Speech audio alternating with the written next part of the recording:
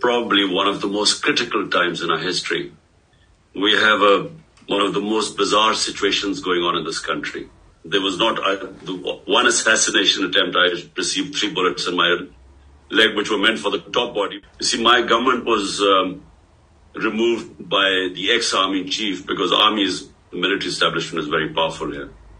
So he uh, conspired with the uh, with the with the people who are in power right now, and you know a lot of uh, the army is powerful, the secret agencies, so they're toppled by government. It was the best economic performance of a government in the last 17 years.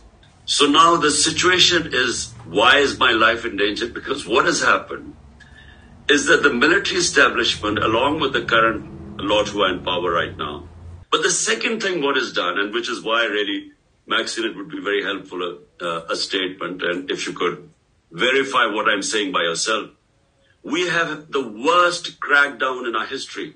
On no democratic party has ever had such violation of the fundamental rights. You know what we want is from you simply find out by yourself. But you know this will be uh, you can find out that what is going on is uh, unprecedented. So we would just, we would appreciate here because it makes a lot of, uh, it goes a long way when someone like you, Maxine, when you uh, give a statement. And all we want is the rule of law, the constitution, you know, uh, uh fundamental rights. We just want um, a statement highlighting what is happening. Uh, and that would really help us. When Maxine, someone like you speaks out, it makes a, a lot of waves in our country. Thank you.